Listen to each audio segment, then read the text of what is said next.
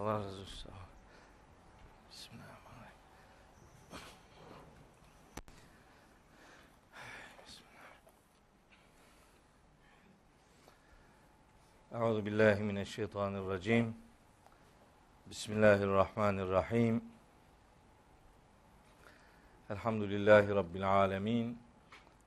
Essalatu vesselamu ala Resulina Muhammedin ve alihi ve ashabihi men tebi'ahu bi ihsanin ila yevmiddin. Değerli kardeşlerim, hepinizi selamların en güzeliyle, Allah'ın selamı ile selamlıyorum. Allah'ın selamı, rahmeti, bereketi, afiyeti, mağfireti üzerinize olsun.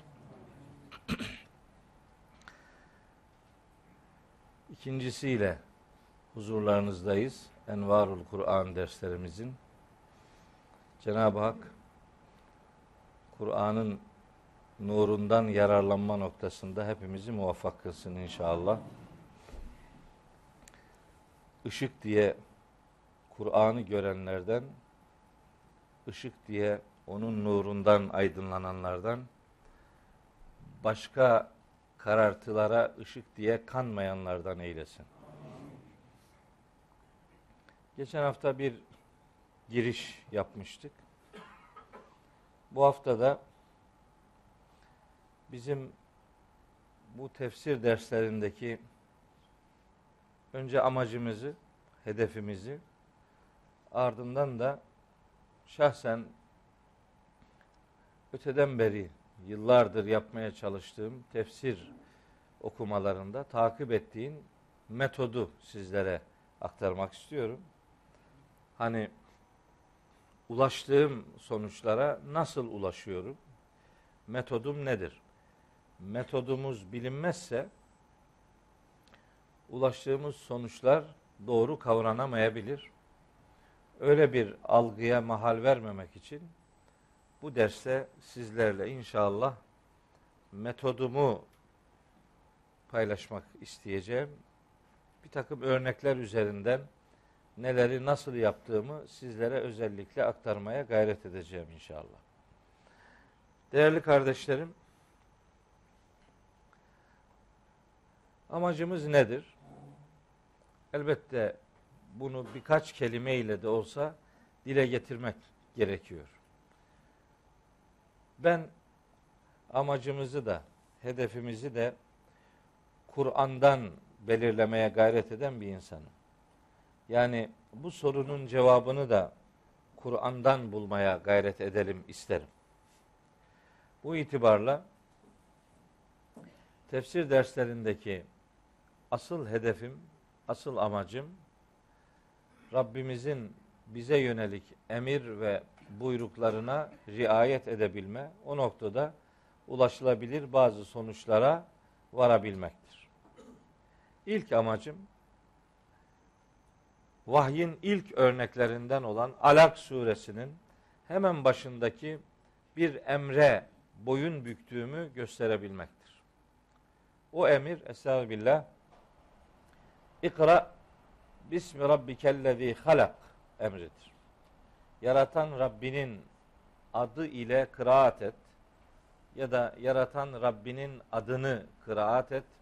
Yaratan Rabbinin adını düşün onun adına okumalarını gerçekleştir gibi çeşitli şekillerde tercüme edebileceğimiz kıraat etmek emrine boyun bükebilmektir. Yani Rabbimiz bize ikra emrini ulaştırdığında bizden bir şeyler yapmamızı istiyor. Onun bizden istediği şey kıraat etmek ise bizim tefsir okumalarımız ya Rabbi kıraat et dedin. Biz de kıraat etmeye çalıştık. Tefsir okumalarımız Allah'ın kıraat et emrine cevap bulabilmeyi hedeflemektedir. Ön, öncelikli hedefim, öncelikli amacım budur. Televizyon izleyenler bileceklerdir. Bizim bir okudum mu diye programımız vardı Hilal Televizyonu'nda. O programın adını da böyle bir gaile ile vermiştik ilk emri oku olan kitabın muhtemeldir ki mahşerdeki ilk sorusu okudun mu olacaktır. İşte okudun mu sorusuna okumaya çalıştım cevabını verebilmeyi sağlayacağız inşallah. Tefsir derslerimizdeki amacımız birincisi bu. Yine bununla ilişkili olarak Kur'an-ı Kerim'de pek çok ayette Kur'an okuma ile alakalı emirler vardır. Bunların bir kısmı kıraat kelimesiyle karşılanır. Bir kısmı tilavet kelimesiyle karşılanır. Bir kısmı tertil kelimesiyle karşılanır. İşte bunlardan bir tanesi Müzzemmil suresi dördüncü ayette yer alır. Estağfirullah. Ya eyyuhel müzzemmil kumil leyle illa kalila nisfahu evin kus minhu kalila ev zid aleyhi ve rattilil Kur'ane tertila. İşte gecenin belli vakitlerinde kalk, gecenin çoğunu ayakta geçirmek üzere kalk ve Kur'an'ı tertil üzere oku. Bizim hedefimiz geceleyin Kur'an okuyor olmanın gündüze nasıl taşınacağını hayatımızla tecrübe edinmektir. Kur'an'ın gece okunmasının gerekçesini Cenab-ı Hak Müzzemmil suresinde gecenin naşiyesinin çok daha etkili, başarılı ve kalıcı olduğunu beyan ederek bize öğretiyor.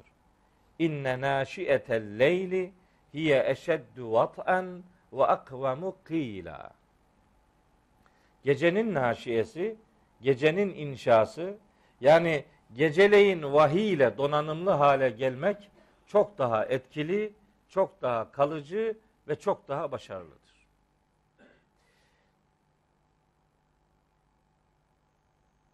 Geceleyin Kur'an'ı tertil etmemizi emreden ayet indiği zaman henüz Kur'an'ın çok çok çok az bir kısmı gelmişti.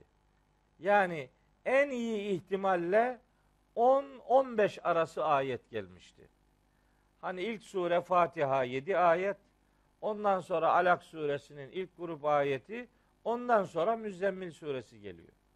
Başka bazı sıralama değişiklikleri olsa da neticede hiçbir ihtimalde bu ayetler henüz indirilmeden önce 20'den fazla ayet gelmemişti yani. Niye gecenin yarısını, gecenin yarıdan çoğunu ayakta geçirmemiz isteniyor?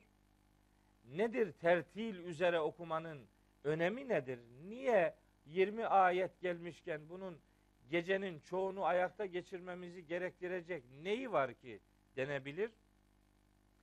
O sorunun cevabını Müzzemmil suresi 5. ayet verir. Orada Yüce Allah buyurur ki İnna senulqi aleyke kavlen sekila. Muhakkak ki biz sana çok ağır bir söz vahyedeceğiz. Ağır bir söz bırakacağız. Söz ağırsa onunla ilgili meşguliyetler de yoğun olmalıdır. 50 bin gailenin söz konusu olduğu bir ortamda böyle ağır sözlere yoğunlaşmak pek mümkün olmaz. Öyleyse gecenin dinç ve dingin bir zihniyle vahiy ile meşgul olmak gerektiği için Allahu Teala geceleyin vahiy ile buluşmamızı istiyor. Peki bizim ders gündüz saat 11'de yani oraya pek uymamış gibi bir görüntü olabilir ama ben gecesini çalıştım bunun. Dolayısıyla gündüze bakan tarafıyla yüz yüzeyiz. O ayette yani Müzzemmil suresinin hemen devam eden ayetlerinde buyuruyor ki Rabbimiz inne leke fin nehari sebhan tavila muhakkak ki senin için gündüzleyin uzun uza diye meşguliyetler var. Şimdi orada bir sebhan kelimesi geçiyor. Hemen hemen herkes o sebhan kelimesine meşguliyetler manası veriyor. Pek çok meşguliyet var. Eğer kasıt sadece meşguliyet olsaydı mesela Şimdi İbrahim hocam burada o da bir hata yaparsak düzeltebilir hemen. Sebhan tavila uzun meşguliyetler manasını verdiğimiz o tamlamayı mesela başka türlü karşılamak mümkündü. Mesela inne leke fin nehari şuhulen kesira diyebilirdi yani. Pek çok meşguliyetler var denebilirdi ama demedi. Sebhan tavila dedi. Elbet bunun bir sebebi olmalıdır. Sebaha kelimesi tesbih kelimesiyle aynı kökten geliyor. Sebaha kelimesi sebeha yesbahu yesbahun gezegenlerin yörüngelerindeki hareketini ifade eden kelime de aynı kökten gelir. Tesbih de aynı kökten gelir. Belli ki Rabbimizin söylemek istediği şu. Gecesini vahyin inşa ettiği adamın gündüz meşguliyetleri tesbihe döner. Siz gecenizi ne ile aydınlattığınıza bakın. Gecesini uykuyla geçiren adamın gündüz meşguliyetlerinde fazla bir hayır olmaz. Gündüz yaşadığınız hayat gecenin inşasının görüntüsü olsun. Öyleyse geceleyin vahiy ile inşa olursanız gündüz karanlıklardan cehalet, günah, kibir, şirk, kebair dediğimiz o ağır günahlardan kurtulursunuz.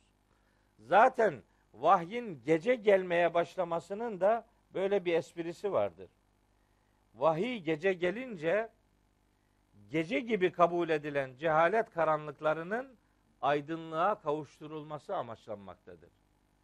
Gece gelen vahiy karanlıkları aydınlığa dönüştürme iddiasındadır. Öyleyse gecesini vahyin inşa ettiği bir hayat gündüz tesbihe ve hayırlı meşguliyetlere döner. Biz gece vahiy ile meşgul olduk. Gündüz bu meşguliyetimiz tesbihle anılsın diye. Amacımız, öncelikli amacımız budur. İkinci amacımız, hedefimiz Yine Kur'an'dan cevap bulmaya çalışıyorum. Kalem suresinin birinci ayeti öteden beri beni çok cezbeder. Ayet kısacık. Bir harf ve iki kelimeden oluşan çok kısa bir ayet. Estağfirullah. Nun vel kalemi ve ma yesturun. Şimdi Kur'an-ı Kerim'de yeminler var bu yeminlerin Kur'an'da bulunma gerekçeleri üzerinde bir ders duracağım inşallah. Niye yeminler var? Allah niye yemin eder? Neye yemin eder? Nasıl yemin eder? Biz bunları nasıl anlamalıyız? Yemin denince bu yemin eden kimdir? Gibi sorular var. Bu soruları cevaplayacağız inşallah. Ama meselenin şimdilik o detayına girmeden Kur'an'daki yemin ifadelerinin aslında bir şahitlik kurumu olduğunu sözün en başında söyleyebilirim. Yani biz Allah'a yemin ederiz. Niçin? Diyalogumuza Allah'ı şahit tuttuğumuzu beyan etmek için. Vallahi Allah'a yemin olsun. Yani Allah şahidim olsun demek. Peki diğer yeminleri nasıl anlayacağız? Allah'ı şahit tutmayı anladık. Başka yeminler var. Güneşe yemin var, aya yemin var, gündüze var, geceye var, dağlara var, mekanlara var, nesnelere var, meleklere var, rüzgarlara var, var da var. Pek çok şeye yemin ediliyor. Onlara neden yemin ediliyor ha? Kısa bir cevap. Onların şahitliği, mahşerde söz konusu olacak demektir. Güneşe yemin olsun demek. Güneş şahidiniz olacak demektir. Aya yemin olsun. Ay da şahidiniz olacak. Her ne ki yemine konu ediniliyorsa bilinmelidir ki orada ilgili varlık mahşerin şahitleri arasında bulunacak demektir. Bütün bunları şunun için söylüyorum. Kalem suresinin birinci ayetinde üç şeye yemin var. Bir, nun harfine, iki, kaleme, üç, satır satır yazdıklarına yemin var. Elbet farklı algılamalar söz konusudur bu ayetle alakalı. Farklı tefsirler yapılıyor. Yapılan tefsirleri külliyen reddetme makamında değilim, külliyen kabul etme durumunda da değilim. Bir kısmını kabul, bir kısmını reddederim. Ancak bir şey var ki ben Kur'an okumalarımda oradan beslenirim. Nedir? Allah bu ayette Nun'a yemin ediyor. Siz bakmayın böyle müteşabih deyince bunların manası bilinemez deyip kesip atıyorlar. Bu müteşabihtir. Bunun manası yoktur. Kur'an'da manası olmayan ayet olabilir mi? Hem Kur'an'da hem manası yok. Peki niye burada? Sebep ne? Tezyinat olsun diye mi yani? Laf kalabalığı olsun diye mi? Bir muhkem müteşabih dersi de yapacağım inşallah burada. Öyle muhkem müteşabih acaba esip savurulduğu gibi mi algılanacak? Yoksa bunun doğru dürüst bir karşılığı var mı bu kültürde? Bunu soracağız, sorgulayacağız. Doğru bir dersimiz olsun amacıyla bütün bunları söylüyorum. Bu müteşabihtir. Tamam. Peki müteşabih ne demektir? Müteşabih manası bilinemeyen demek değildir. Peşinen bunu söyleyelim. Manası tükenmeyen şey demektir. Manasını anlamak için başka bir ayetin yardımına ihtiyacımız var demektir. Müteşabih birbiriyle benzeşen ayetler demektir. Benzeştiğini bulursunuz olur biter. Böyle bazısı demiş ki bunun manası yok. Bazısı mesela nun harfine demiş ki Nun'dan maksat Hazreti Osman'dır. Nereden çıkardın bunu? Nun niye Osman oluyor? Bu mukatta harfleri konusu da çok ciddi bir konudur. El huruful mukatta'yı da mutlaka bir ders konusu yapacağım. Bu demektir ki 5-10 ders tefsir usulü yapacağız yani. Usulü olmayan dersin sonu olmaz yani. Usulümüz neye nasıl baktığımızı ortaya koymamız için çok önemli. Mukatta harfleriyle ilgili de bir algımız var. Onu da sizlerle paylaşacağız inşallah. İşte deniyor ki bu mukatta harflerinin işte manası bilinemez. Yok manası bazıları tarafından bilinir. Yok bunlar müsteşrikler boş durmuyor. Siz şimdi buna bunların manası yok dediğiniz zaman müsteşrikler diyor ki doğru bunların manası yok. Niye? Çünkü bunlar Kur'an'dan değil diyorlar. Peki nedir bunlar? Bunlar vahiy kim yazdıysa onların sembolleridir. Mesela Mim Mughire'nin sembolüdür. Saat Saat bin Ebi Vakkas'ın sembolüdür. Nun Osman bin Affan'ın sembolüdür. Ha Ebu Hureyre'nin sembolüdür. Bunlar Kur'an'dan değildir diye Kur'an'da 29 surenin başındaki bu harflerin birkaç tanesi bir ayetin parçasıdır. Gerisi müstakil bir ayettir. Bunları manası yoktura çıkarıyorlar. Öyle çıkarınca da elin alemin adamı da bu defa diyor ki bunlar zaten manasız olduğu için Kur'an'dan değildi diye böyle bir yaklaşım ortaya koyuyorlar. Zinhar bunu reddediyorum. Asla böyle bir şeyi kabul etmediğimi sözün burasında söyleyeyim. Peki buradaki mana ne olabilir? İşte Osman demişler.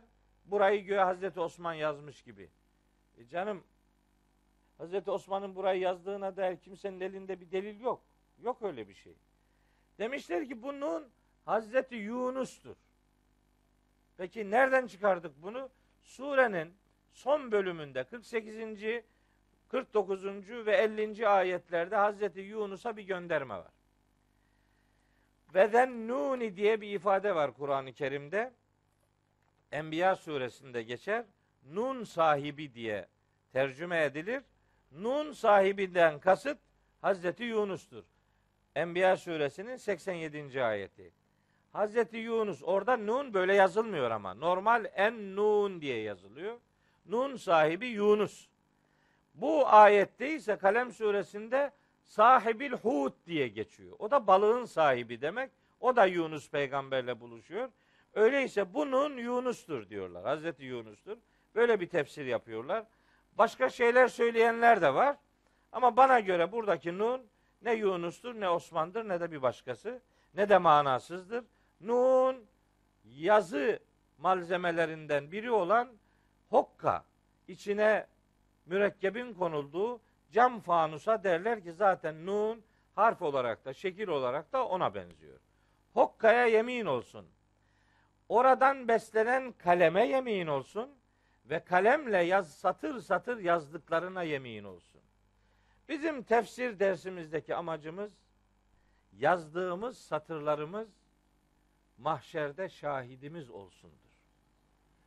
Bütün derdim, bütün maksadım Kur'an adına, vahiy adına her ne meşguliyet ortaya koyuyorsam bu ayetlerden beslenerek mahşerdeki şahitlerimin sayısını çoğaltmaya gayret etmektir. Sizin derslere takibiniz de aynı gayenin bir başka ifadesi olarak görülebilir. Başka amacımız nedir? Rabbimiz bizi niye yarattığını çeşitli ayetlerde söyler. Belki bunlar da müstakil bir ders konusudur. Ama sözün hemen burasında çok kısa birkaç ayet söyleyeyim. Bunlardan bir tanesi yaratılış gayemizi ortaya koyan mesajlardan biri Zariyat suresinin 56. ayetidir. Orada Rabbimiz buyuruyor ki Estağfirullah ve ma halaktul cinne vel inse illa liya'buduni. Ben cinleri ve insanları sadece bana kulluk yapsınlar diye yarattım. Tefsir dersimizin amacı Allah'a kulluk görevimizi yerine getirme noktasındaki bir gayrettir. Kulluğumuz önce anlamayla başlayacak. Anlamadan kulluk yapamayız. Kime, niye kulluk yapacağımız mabut diye kabul ettiğimiz Rabbimizin beyanlarını anlamamızla başlar. Anlamadan uygulamanın çok da bir manası yoktur. Çünkü niye, nasıl gerçekleştirildiğinin cevabı doğru dürüst kavranamıyor demektir.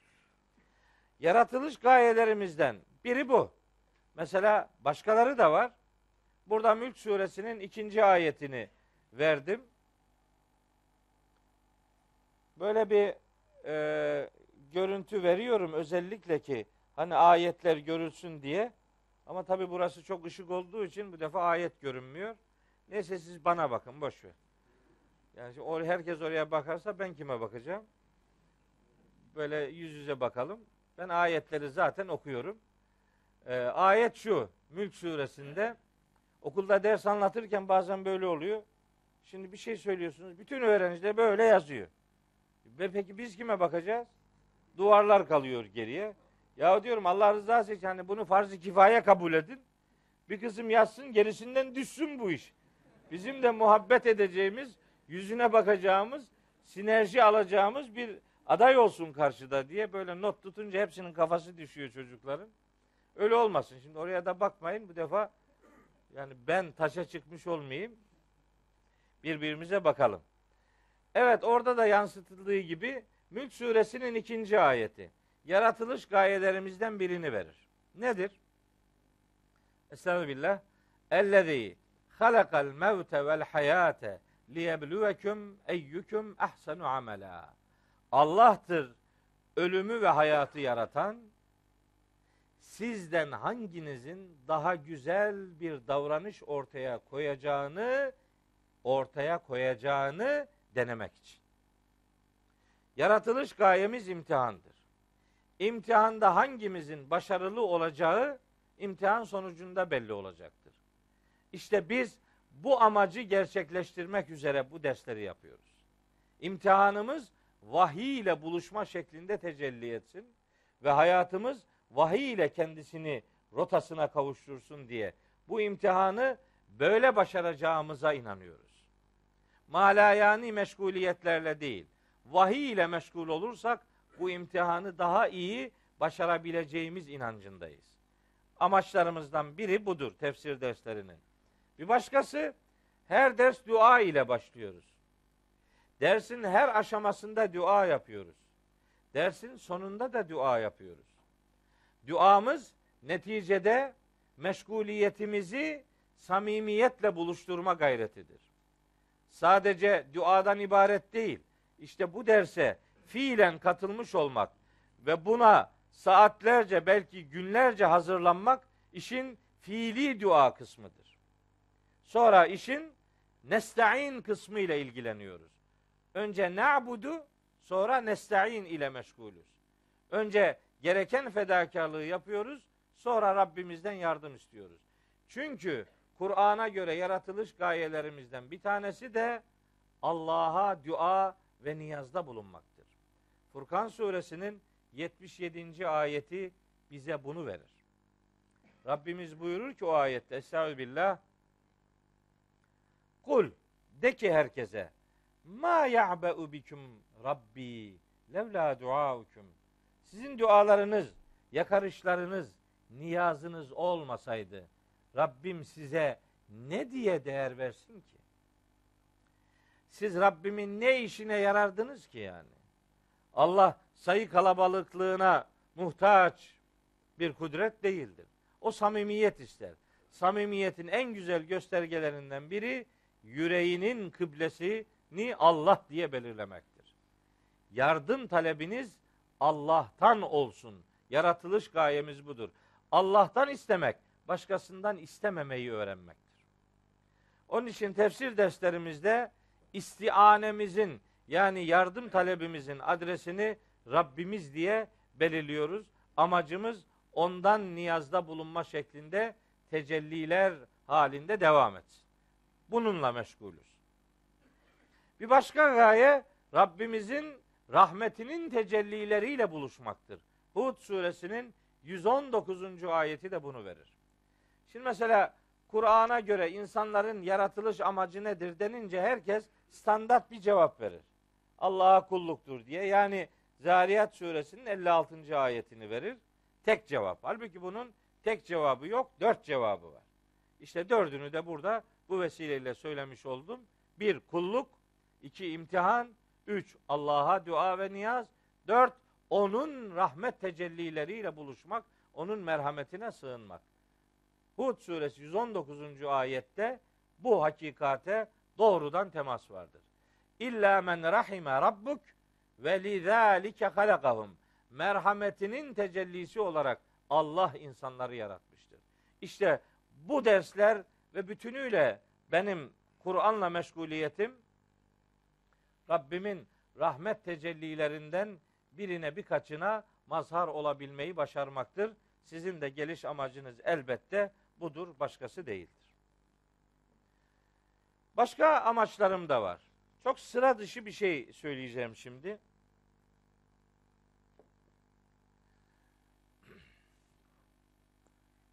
Çok sıra dışı mı bilmiyorum. Belki de burada söylenmiştir. Yani güya ben de ilk defa bir şey söylüyormuşum gibi çok kahramanlık yapmak istemem. Böyle bilgiçlik taslamayı hiç sevmem. Çünkü ne zaman ne zaman ben bu meseleyi çözdüm diye tamamdır bunu hallettim diye Kur'an'ı kapattıysam gece rüyama giriyor ayet olmadı diyor bu. Kalk. Bir daha kalkıyoruz yani. Bu iş bitti demek şeytani bir dürtüdür. Bitti yok. Bu sadece başlar devam eder. Nereye kadar? Ölene kadar. Ölene kadar öğreneceğiz. Her yeni gün yeni bir şey öğreniyoruz. Biz yeni öğrenince millet de yeni öğreniyor zannediyoruz. Halbuki bir kısmı bunları biliyor. Olsun tekrar etmiş oluyoruz yani. Şimdi bakın. Rahat suresinin 43. ayeti var. Rahat suresi. Bu ayet oldum olası beni titreten ayetlerden biridir. Rahat suresi 43. ayet. Kutlu doğum haftaları var bilirsiniz. 1989 yılından beri uygulanıyor, kutlanıyor. Ben de her hafta, her sene o organizasyonlara giderim. Yurt içine, yurt dışına, işte neresiyse giderim yani. Şimdi kutlu doğumlar var. Hazreti Peygamberi anma programları diye başladı. Sonra ısrarla dedik ya peygamber biz anılacak biri değil. Peygamberimiz anıların konusu değil. Peygamber anılara terk edilecek, hatırası yad edilecek biri değil. O küçük adamlara yönelik iştir.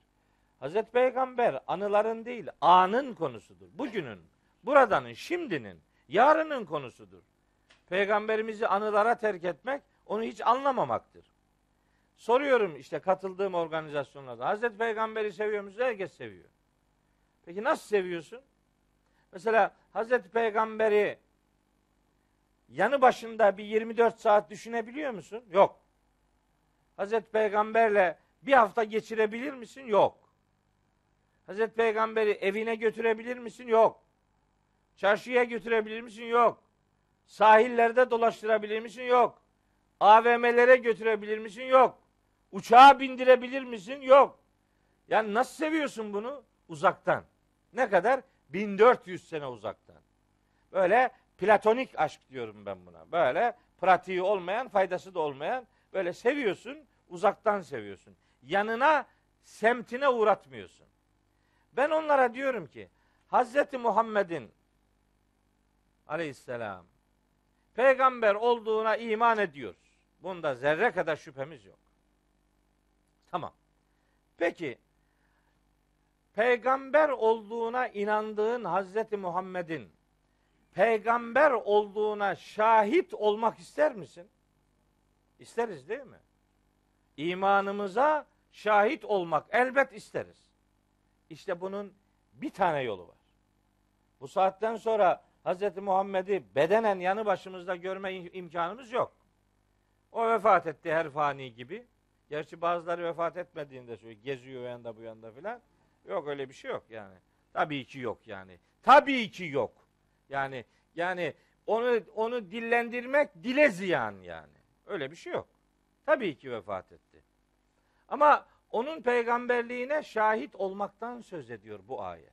Bakın ne diyor. Ben bu ümmetin Hz. Muhammed'in peygamberliğine şahit olması gerektiğine inanan bir kardeşiniz. Benim tefsir derslerimin bir amacı da bu şehadeti gerçekleştirmektir.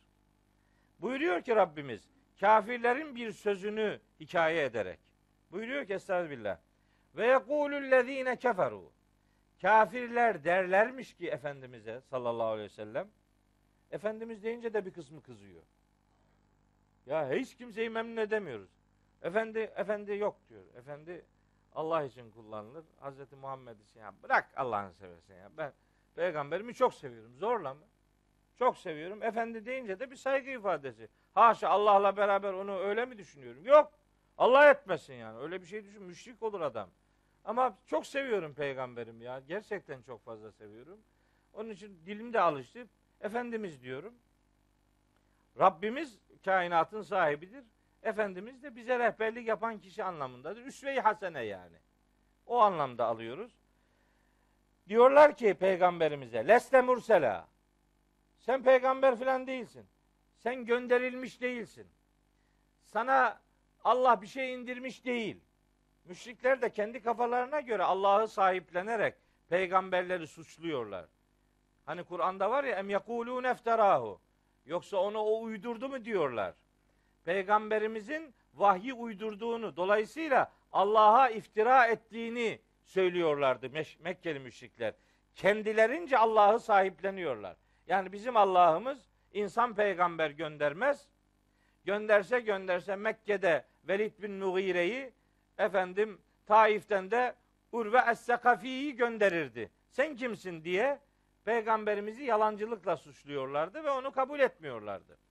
Şimdi o ayetle ilgili bakın hem onların sözünü naklediyor Rabbimiz sonra da cevap veriyor. Buyuruyor ki kul de ki böyle diyenlere Kefa billahi şehiden beyni ve beyneküm. Benimle sizin aranızda şahit olarak Allah yeter. Benimle sizin aranızda şahit olarak Allah yeter. Allah şahit ki ben onun peygamberiyim. Ve bir şahit daha var diyor. Kim? Men indehu ilmul kitab. Katında, beyninde, yüreğinde, algısında kitabın bilgisi olanlar şahidim olarak yeter diyor. Kitabın bilgisine sahip olanlar Hz. Muhammed'in peygamberliğinin şahitleridirler. Ben bu ümmetin peygamberimizin peygamberliğine sadece iman etmekle yetinmemesini, ona şahit olmaları lazım geldiğine de inanan bir insanım. Öteden beri Rahat suresi 43. ayet benim peygamberimi bana tanıtan kaynağın Kur'an olduğunu haykırarak ortaya koyan bir mesajla önümüzde durmaktadır. Bizim tefsir derslerimiz böyle bir şehadet kurumuna hizmet etmeye adaydır. Şahsen buna çok büyük özen göstermeye gayret ediyorum. Allah mahcup etmesin inşallah. Tefsir derslerindeki bir başka amacımız Ruzi Mahşer'de peygamberimizin şikayetine muhatap olmamaktır. Çünkü şikayet edeceğinden beyan buyuruyor Rabbimiz. Furkan suresi 30. ayet kapı gibi ortada. Estağfirullah. Ve kâler Resulü ya Rabbi inne kavmi ittehazu hâzel Kur'ane mehcura. Peygamber demiş olacak ki mahşerde konu mahşerle alakalı. Ayetlerin bağlamına baktığınız zaman arkasına önüne baktığınız zaman meselenin mahşerle alakalı olduğu gün gibi aşikar. Furkan suresinin hemen 22. ayetinden itibaren 30. ayetine kadar gelen bölüm mahşerle alakalı. Orada dile getirilecek bir beyandır bu. Peygamberimiz buyurmuş olacak ki Ey Rabbim şu benim kavmim bu Kur'an'ı mehcur bıraktılar. Kur'an'ı mehcur bırakmak Kur'an'la arasına mesafe koymak demektir. Kur'an'la yüzleşmemek demektir. Kur'an'la yan yana belki iç içe olmasına rağmen Kur'an'dan ayrı kalmaktır. Koltuğunun altında Kur'an olmasına rağmen Kur'an'dan uzak yaşamaktır. Buradaki mehcur kelimesinin tercih edilmesi son derece manidardır. Yani mehcur metruk demek değil. Metruk tamamen terk edilmişlik manasına gelir ki o zaman maksat büyük ihtimalle müşrikler olur. Ama burada maksadın özellikle müşrikler değil, Kur'anlı da olmuyor, Kur'ansız da olmuyor diyen müminler olduğunu düşünüyorum. Hayatına rehberlik yapmıyor Kur'an-ı Kerim. Kur'an-ı Kerim kendisine ışık vermiyor. Kur'an'da bir konu açıklanmış olmasına rağmen Kur'an'ın dediğini değil, başka görüşleri esas alıyor. Öyle olunca Kur'an mehcur bırakılmış oluyor. Hicret zaten geri dönülmek üzere çıkılan yolculuğa derler. Yolculuk için bir yere doğru gidiyorsunuz ama aklınız hep geride. Aklınız bir yerde bir yolculuk yapıyorsunuz. Mekke'den Medine'ye doğru gidiyor ama aklı Mekke'de kalıyor. Hicret aklı geride kalan yolculuğun adıdır. Kur'an'ın mehcur bırakılması da böyle bir şey. Kur'ansız olmuyor ama Kur'an'dan da beslenmiyor.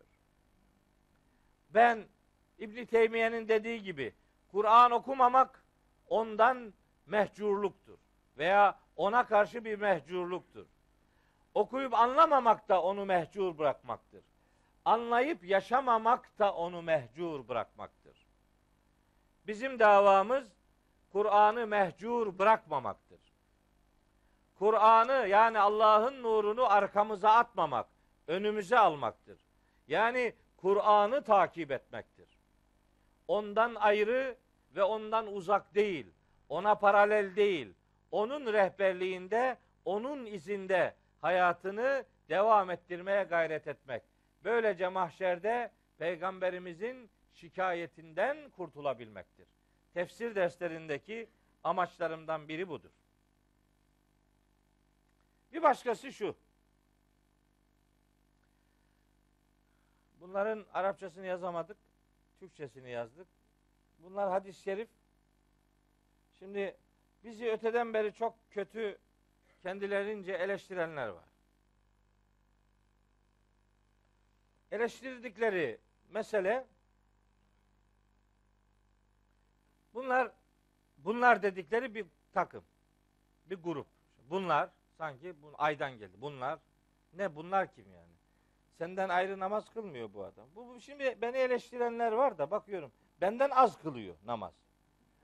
Benden az oruç tutuyor.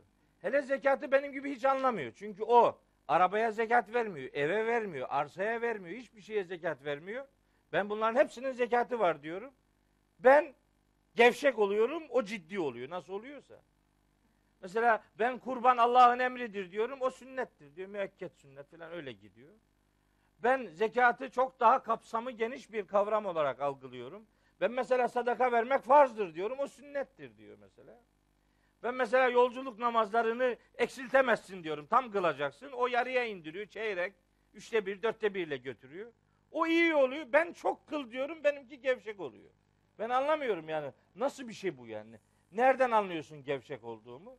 İşte diyor ki bunlar hadisleri reddediyor. Haşa. Hiç öyle bir şey yok.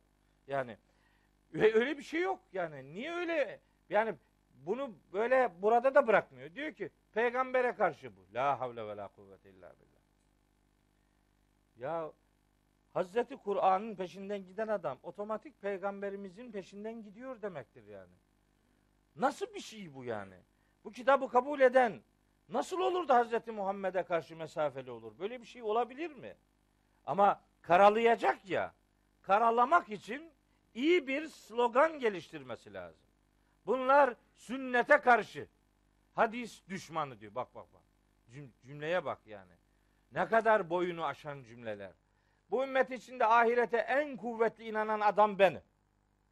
Ben kendim öyle görüyorum. Herkes kendisini öyle görsün. Bana göre böyle. Niye? Böyle suçlamalara konu edindiklerini düşündüğüm adamlarla hakimi Allah olan mahkemede yüzleşmek istiyorum. Onlarla ruzi mahşerde yüzleşeceğiz. Bakacağız peygamberimizi kim seviyormuş. Bakacağız Kur'an'a kimin sadakati varmış o mahşerde belli olacak. Öyle her söze peygamberimizin sözüdür diye sarılmak mı sadakatmiş yoksa onun sözü Kur'an'la çelişmez demek mi sadakatmiş? Bunu mahşerde göreceğiz. Ben ben nasıl öyle bir mesafenin sahibi olabilirim? Ya da kim böyle bir mesafenin sahibi olabilir ki? Bu akla ziyan bir iştir. Onu demek Kur'an'ı reddetmek demektir. Kimsenin böyle bir iddiası, böyle niyeti yok. Sadece yapılan şudur. Nakledilen bilgiler Kur'an'a uygun mudur, aykırı mıdır? Bu ayrımı yapmak lazım. Çünkü süpürüp almak ne kadar sıkıntılıysa süpürüp atmak da o kadar sıkıntılıdır. Öyleyse bir bir elemeye tabi tutmak lazım. O eleme Kur'an'ın hakemliğidir. Bu kadar. Kur'an'a uygunsa peygamberimizin sözüdür, başımızın üstünde yeri vardır. Kur'an'a aykırıysa bu söz peygamberimin sözü olamaz demek. Bu sözü reddetmek anlamına gelebilir mi? Bu nasıl bir nasıl bir slogan, nasıl bir suçlama biçimi? Korkunç yani. Mesela ben bu tefsir derslerimizde peygamberimize nispet edilen bazı rivayetleri baş tacı edinmiş bir kardeşiniz. Mesela şöyle bir rivayet var. Buyuruyor ki peygamberimiz işte herkesin bildiği bir rivayet. Hayrukum men teallemel Kur'ane ve allemehu. Sizin en hayırlınız Kur'an'ı öğrenen ve onu öğretendir. Şimdi böyle deyince bunun tercümesi şu. Hayır, rivayeti anlayalım da sonra kararımızı verelim. Bakalım ne demek istiyor bu rivayette? Diyorum ki peygamberimiz bu sözü ya Mekke'de söyledi ya Medine'de değil mi? Bunun başka üçüncü ihtimal yok. Peygamberimizin bu sözü söylediğinde karşısında Araplar vardı. Bunda da şüphe yok. Karşısındaki Araplar Arapçayı bilen adamlardı. Bunda da şüphe yok. Peki peygamberimiz ne demek istiyor acaba? Sizin en hayırlınız Elif, B, T, S, Cim, H, H, Dal, Zal bunları bileninizdir. Arapça okuyabileninizdir. Bunu mu diyordu yani? Yani maksat Kur'an'ın okunabilmesi, yani Arap alfabesinin sökülebilmesidir. Bunu bunu mu kastediyor? Bu sözün söyleniş hikmetiyle izah edilebilir mi? Söylendiği zamanla, söylendiği yerle, söylendiği muhataplarla bunu anlayabilir misiniz? Belli ki başka bir şey söylemek istiyor. O zaman şöyle diyelim. Sizin en hayırlınız Kur'an kursu hocalarıdır. Eğer yani daha güzel oluyor bu. Elif, B'yi öğretiyor. Sizin en hayırlınız Araplardır oluyor. Arapçayı biliyor ya. Bu değil kardeşim. Sizin en hayırlınız Kur'an'ı tanıyan ve onu tanıtanınızdır. Kur'an'ın elif basını öğrenmekten söz etmiyor bu. Elbette onu tanımak için de onu öğrenmek lazım ama ilk söylendiğinde kastın bu olmadığı gün gibi aşikardır. En hayırlı olmak Kur'an'ı tanımakla mümkündür. İşte bizim tefsir derslerimizdeki maksadımız en hayırlı insanlardan olma noktasında bir çaba ortaya koymaktır. Yani bakın peygamberimizin sözüne, müjdesine mazhar olabilmektir. Mesela biri bu. Bir başkası yine nispet edilen bir rivayet. Buyuruyor ki peygamberimiz Eşrafu ümmeti hameletul Kur'an. Herkes bilir bunu. Her yerde de yazılır. Bunun tercümesi her tarafta vardır. Peki düşünelim bakalım. Ne diyor ve ne demek istiyor? Bu soruyu soracağız. Anlayacağız çünkü. Metni anlayacağız. Tercümesi şu. Ümmetimin en şereflileri Kur'an'ın taşıyıcılarıdır. Kur'an'ı taşıyanlardır. Ümmetimin en şereflileri. Allah Allah. Ne şimdi yani? Yani diyelim ki bir tıra yüklüyorsun. Bir tır Kur'an. Bir tır Kur'an taşıyor. Bir gemi düşün ki Kur'an götürüyor gemi. Bilmem trans, transatlantik. Kur'an doldur. En şereflisi gemi mi oluyor yani? Bu böyle bir taşımaktan mı söz ediyor? Yok öyle bir şey değil. Öyle olursa Cuma suresinin 5. ayeti hemen oradan diyor ki bak ben varım burada diyor. Dikkat et. Cuma suresi 5. ayet var. Kimse üzerine almıyor o ayeti. Hiç kimse okumuyor onu. Bize uğramasın diyor. Nedir ayet? Estağfirullah. Meselüllezine hummilut tevrate sümme lem yahmiluha kemeselil himari yahmilu esfara. Tevrat'la yükümlü tutulmuş olmasına rağmen yükümlülüğünü yerine getirmeyenler üzerine kutsal kitaplar yüklenmiş merkeplere benzerler diyor. Buyur. Ben mi dedim bunu? Allahu Teala. Ayeti çıkaracak mıyız Kur'an-ı Kerim'den? Öyle diyor. Diyor ki merkep gibi değil. insan gibi davranın. Sorumlu tutulduğunuz kitabı taşıyın. Yani onu hayata taşıyın. Hayatınıza taşıyın Kur'an-ı Kerim'i. Sırtında taşımayla maksat hasıl olmaz. Bu hadisi hemen hemen herkes hafızlıkla ilişkilendirerek yorumlar.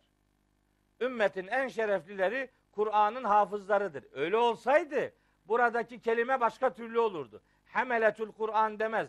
En azından hani hafız kelimesiyle ilişkili olsun diye hafazatül Kur'an. O da tam o manaya gelmez ama hadi diyelim ki yakın olarak o olsun. Ama öyle değil. Kur'an'ın hamilleri Kur'an'ı hayata taşıyan insanlar demektir. İşte bizim tefsir derslerimizin amacı bu hamillerden olabilmektir. Önce hayatımıza, kendi hayatımıza taşıyacağız.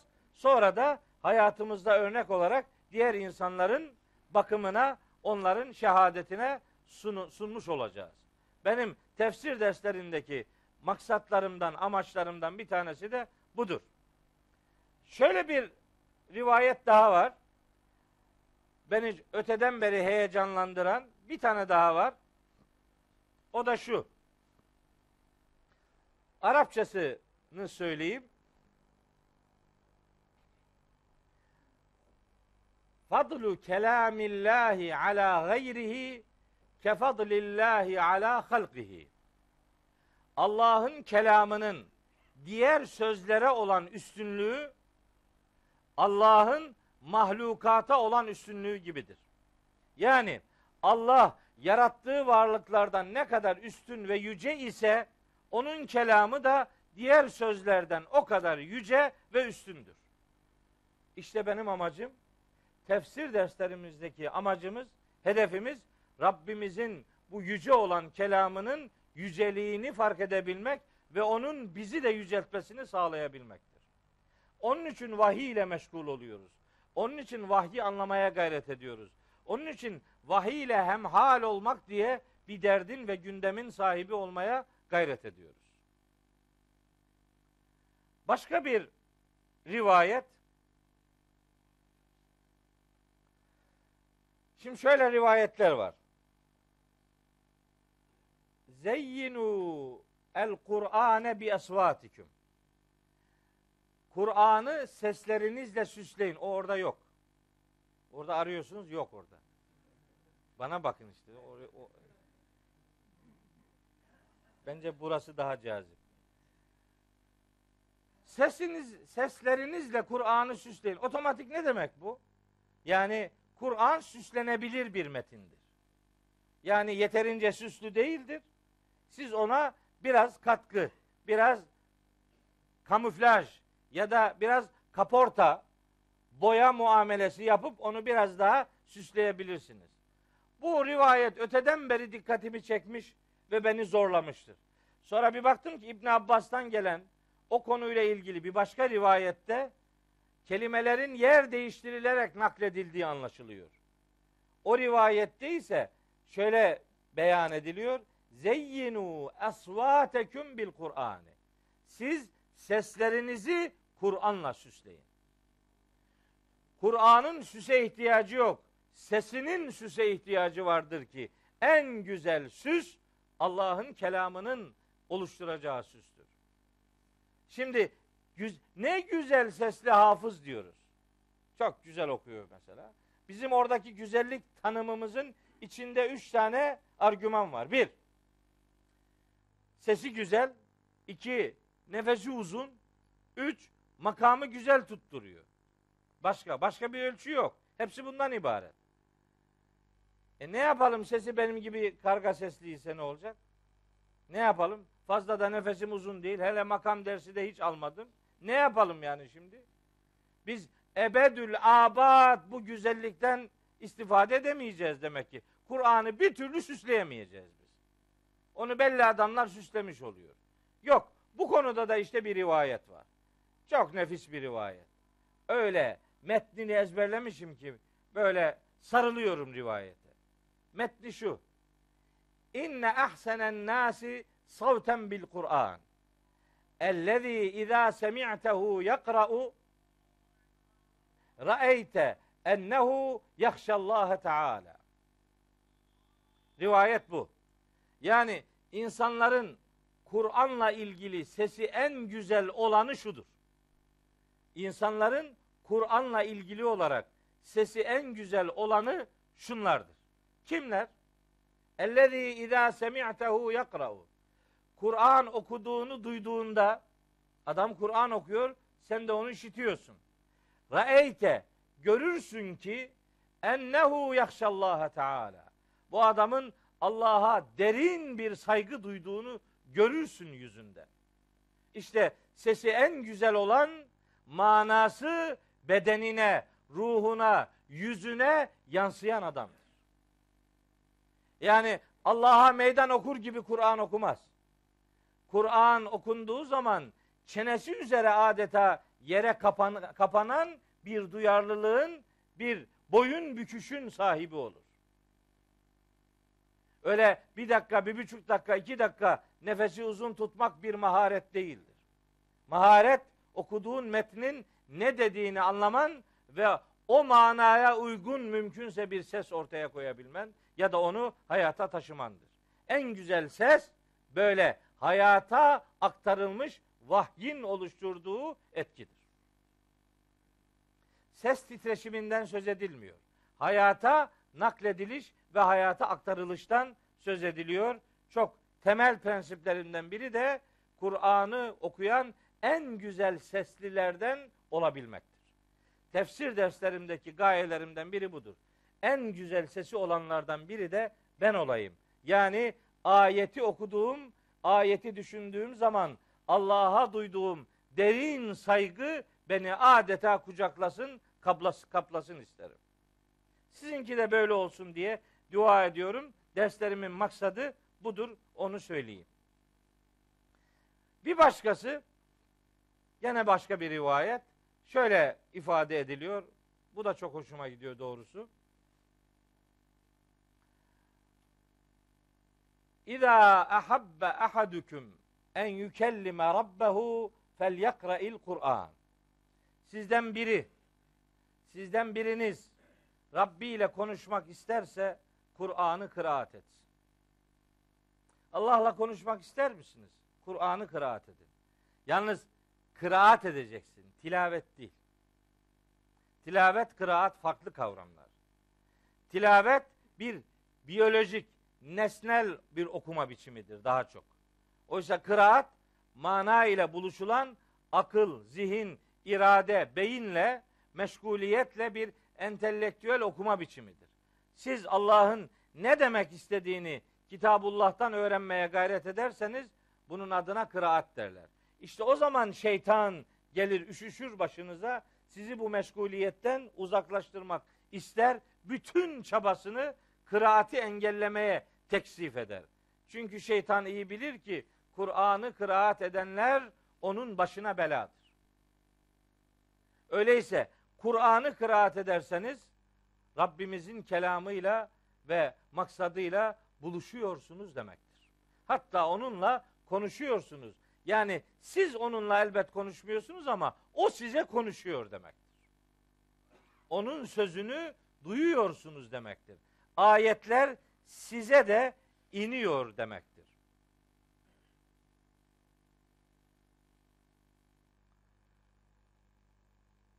Evet, şimdi bu bilgisayarlar teknolojiyi iyi kullananlar için bilgisayarlar avantajdır. Fakat çok iyi bilmiyorsanız bu başınızı karıştırabilir. Şimdi bu yazılan şeye baktım. Ben öyle yazmamıştım. Böyle çıktı. Yani hani adam biri yoldan gidiyormuş. Yoldan giderken affedersiniz yola bir hayvanın işte kuyruğu yolda ama hayvanın kendisi böyle çalılığın içinde kuyruğu yolda. Giderken anlamamış baş, basmış kuyruğuna tabi hayvan bağırmış öbür taraftan.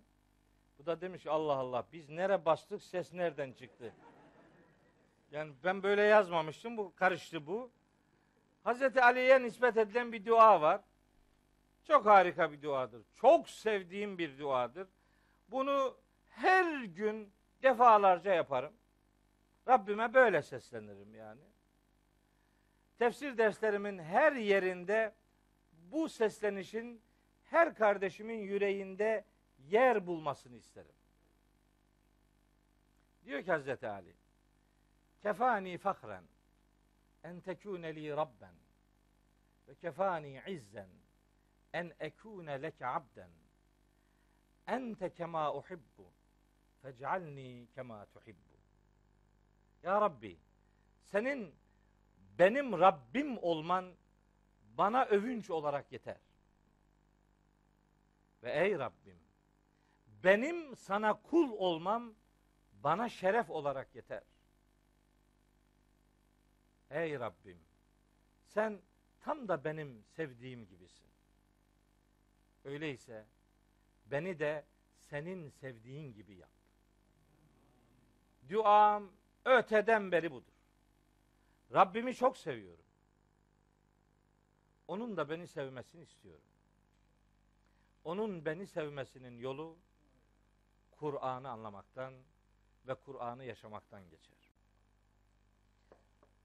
Geleneksel din algımızda Kur'an'la ilgili şöyle bir şey var. E, piramit oluşturdum ben. Bir piramit var. Piramite bakıyorsunuz çok güzel görünüyor. Yani tepede, zirvede Kur'an-ı Kerim, işte altında hadisler, altında tefsirler, aslında altında İslam tarihi, fıkıh kitapları, altında kültür kitapları, ilmi haller filan böyle. Daha da var tabi yani. Buna 40 kat yapacak halimiz yok. Ama bir mantığı ortaya koymak için söylüyorum. Diyorlar ki siz Kur'an'ı anlayamazsınız. Giriş cümlesi bu. Hatta biraz daha ağır söylüyorlar. Sen kim oluyorsun da Kur'an anlıyorsun? Olur.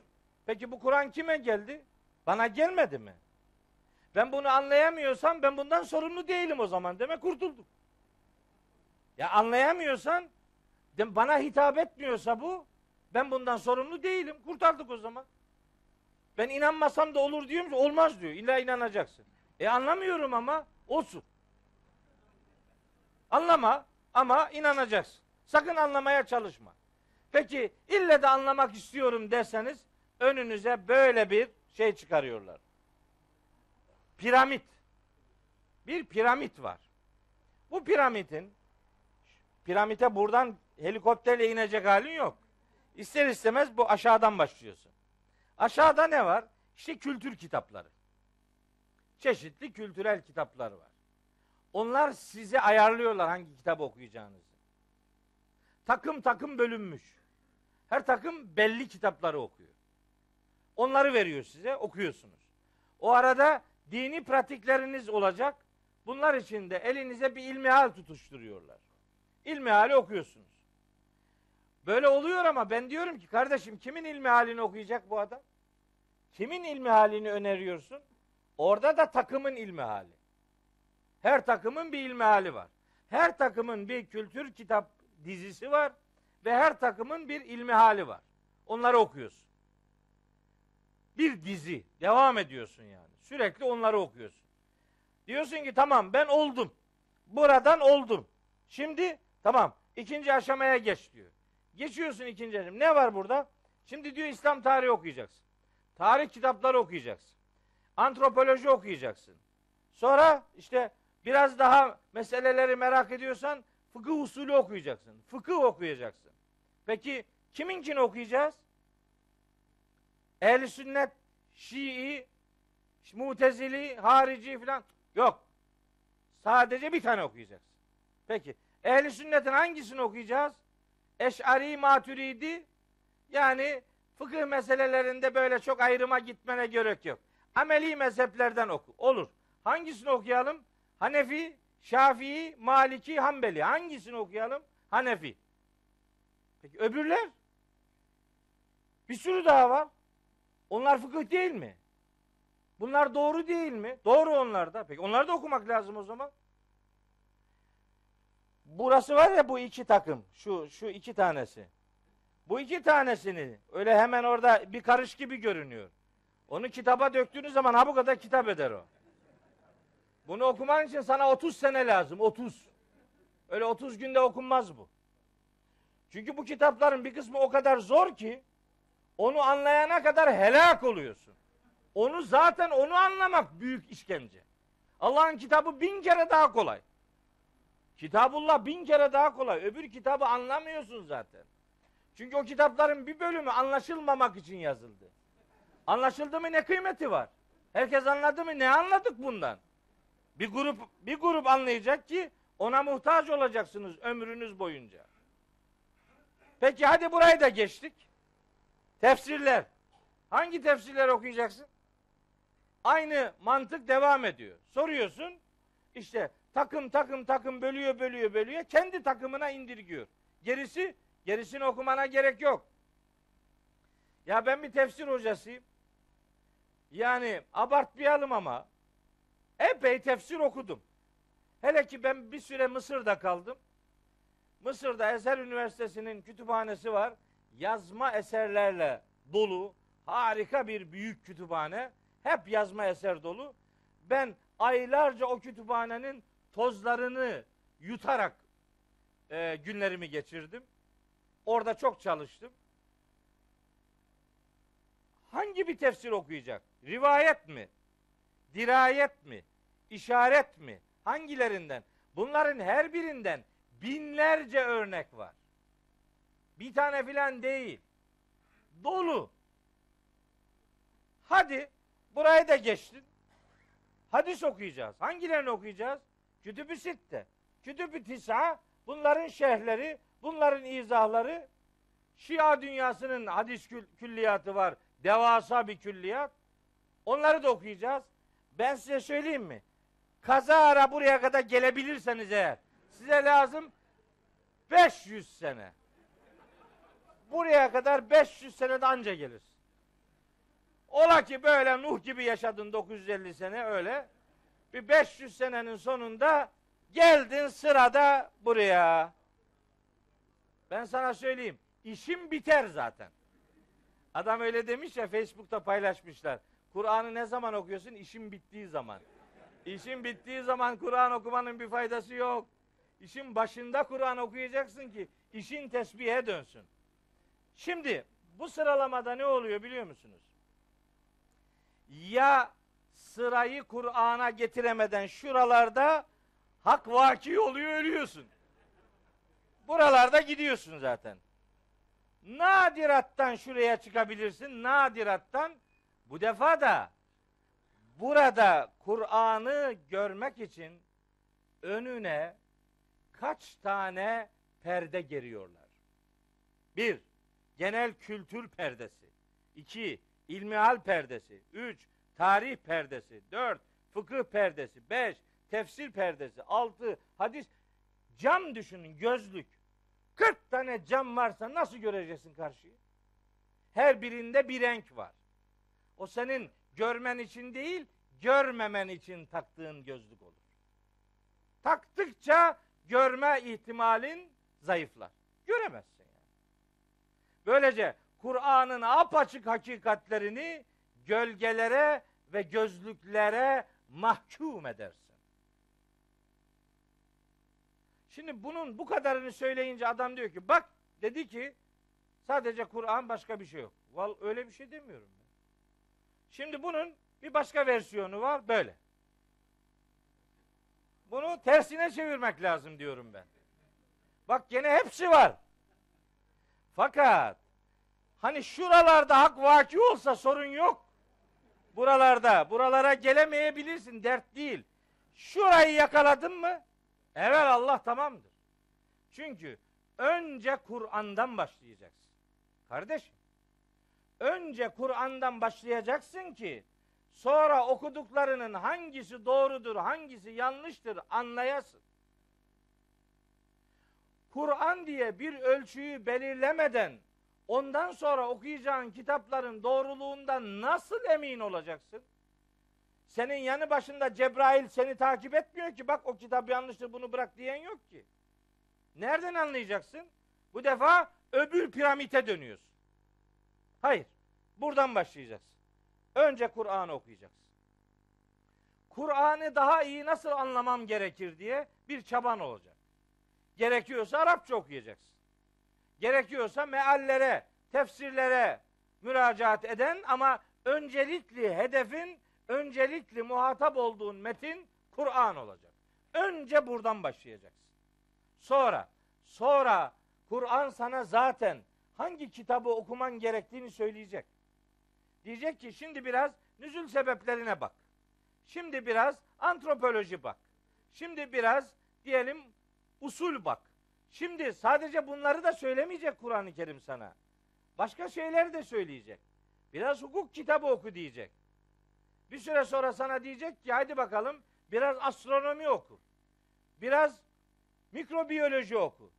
Biraz jeomorfoloji oku. Biraz embriyoloji oku.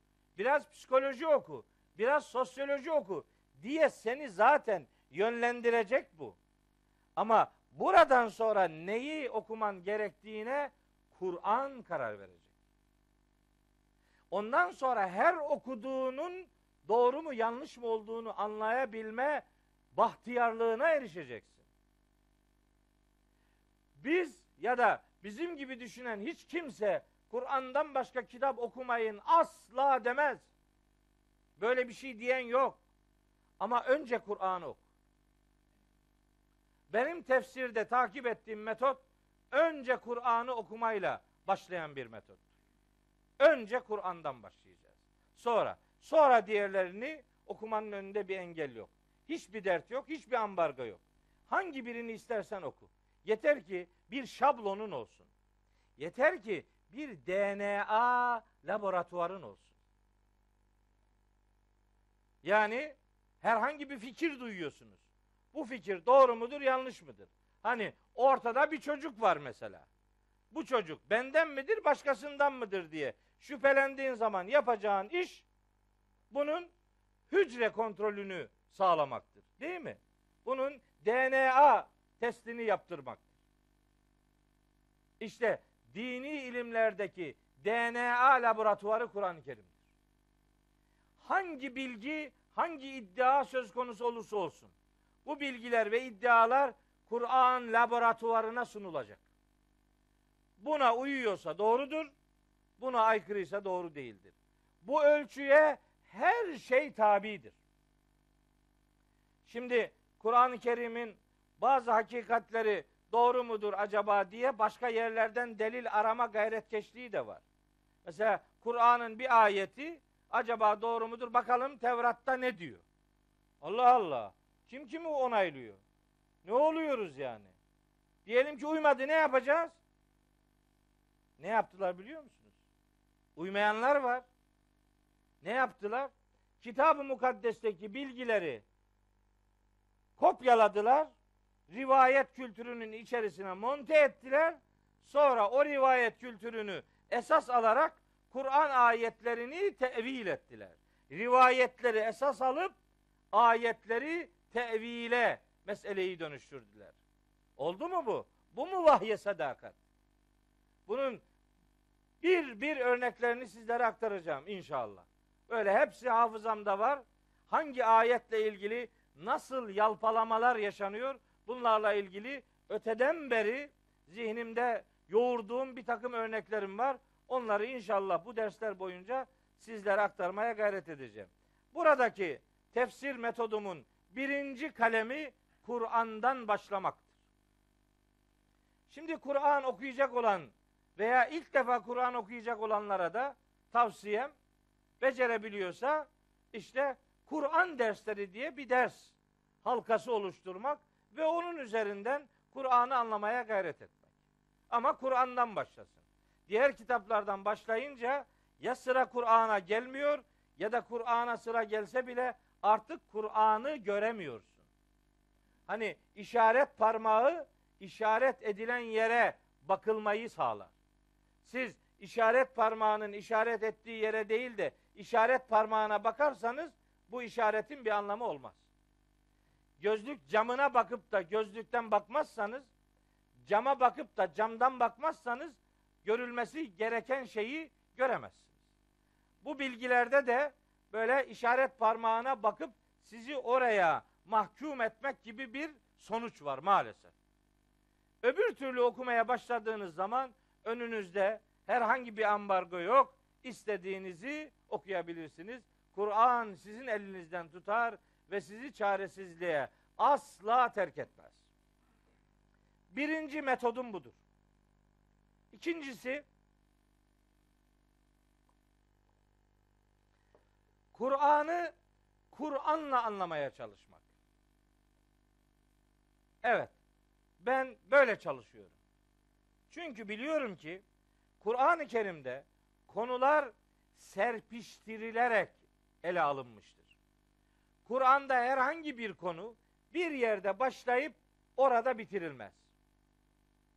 Böyle bir serpiştirerek anlatma metodu vardır Kur'an-ı Kerim.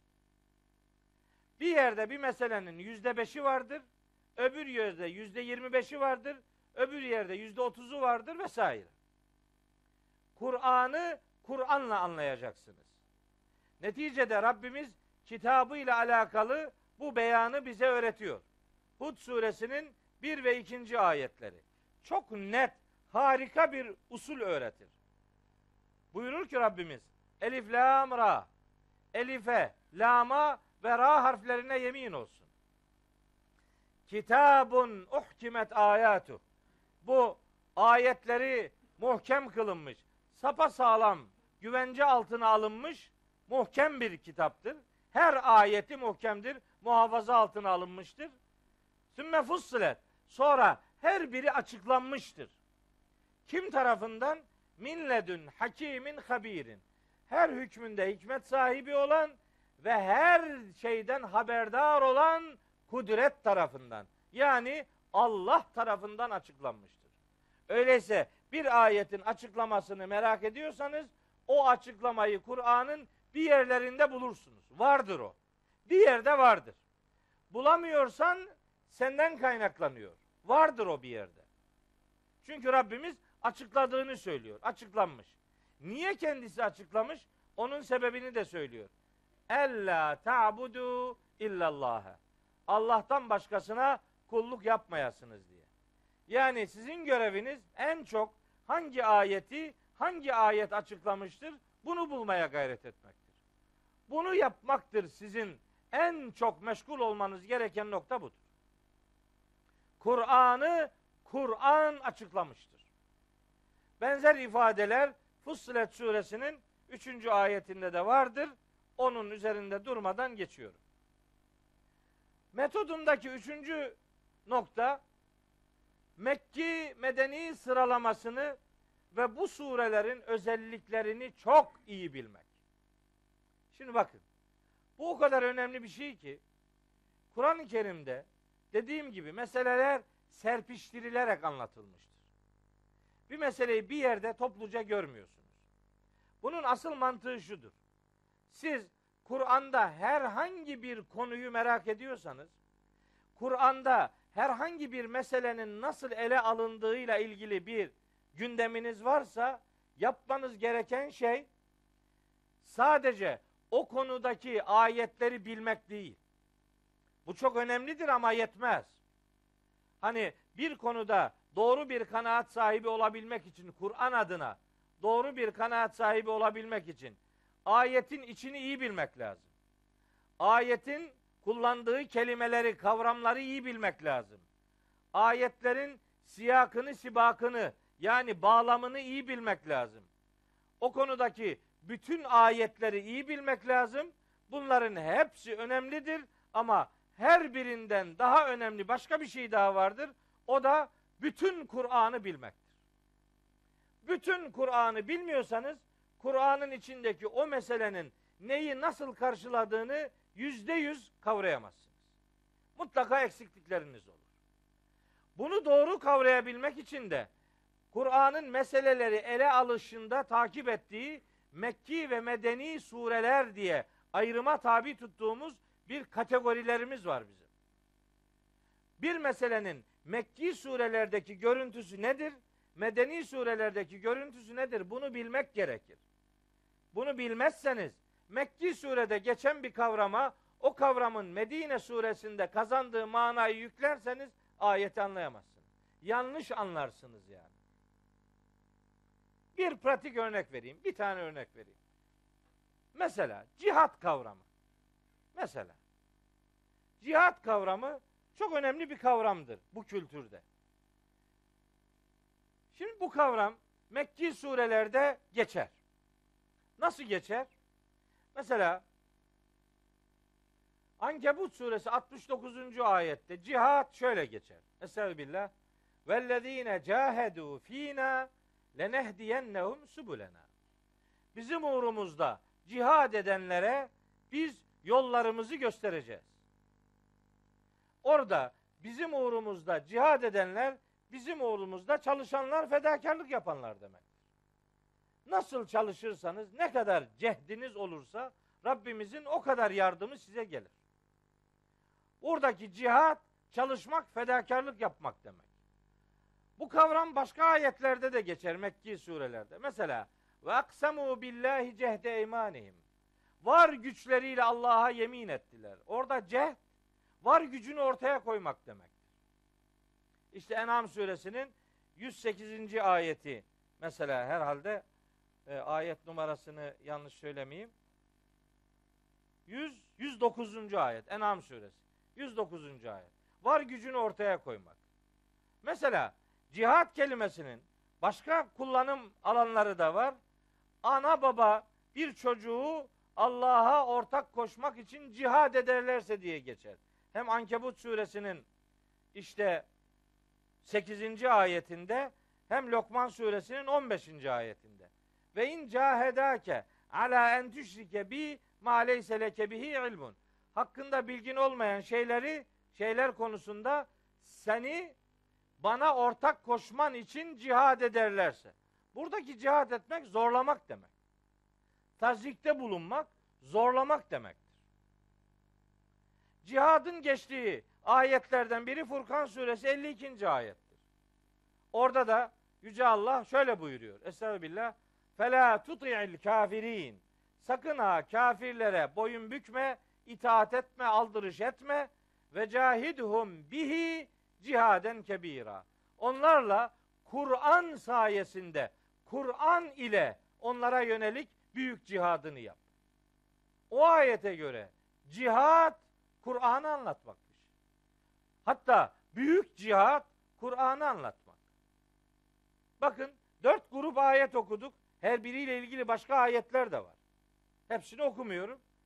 Cihat bu Mekki surelerde bizim cihat denince aklımıza gelen mana henüz geçmedi. Ama bu okuduğum ayetlerin hepsi Mekki surelerin ayetleri. Meselenin medeni ayetler kısmına baktığınız zaman cihat kavramı bir mana daha kazanır. O da fiili savaş. Yani size biri saldırdığı zaman kendinizi savaş savaşta savunma anlamında cihat meydanında bulursunuz. Ama bu bu kavramın Medine'de kazandığı manadır.